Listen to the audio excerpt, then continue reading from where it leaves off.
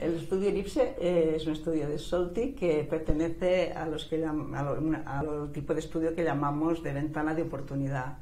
Es un tipo de estudio que aprovecha ese tiempo que pasa entre el diagnóstico, entre la biopsia diagnóstica del cáncer de mama precoz y la cirugía, que serían entre dos y cuatro semanas. Eh, estos estudios se aprovechan para em,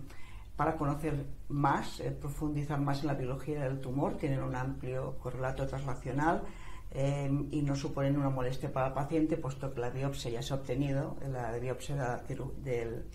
diagnóstico y la biopsia tras la exposición al fármaco de interés se obtiene en el momento de la cirugía. En este caso, el, fármaco en cuestión es el eh, llamado el acestran. El acestran pertenece a una nueva generación de hormonas que se conocen como SERT. Concretamente es un fármaco híbrido SERM-SERT que em, bueno, mm, se supone que al degradar finalmente el receptor de estrógeno tiene una actividad más potente que otras hormonas previas.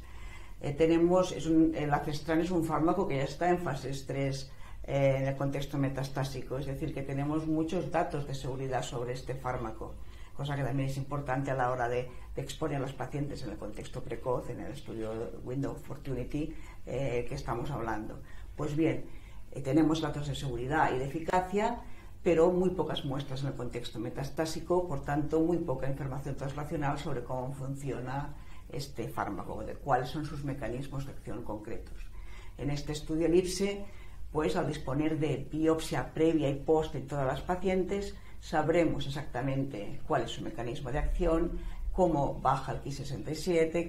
cómo, em, cuáles eh, los genes que se están regulando o regulando tras la exposición al fármaco y en definitiva eso será eh, aumentar el nivel de evidencia que tenemos sobre la cestran y nos permitirá, por ejemplo, generar eh, hipótesis sobre qué pacientes pueden o no beneficiarse de este, este tipo de tratamiento.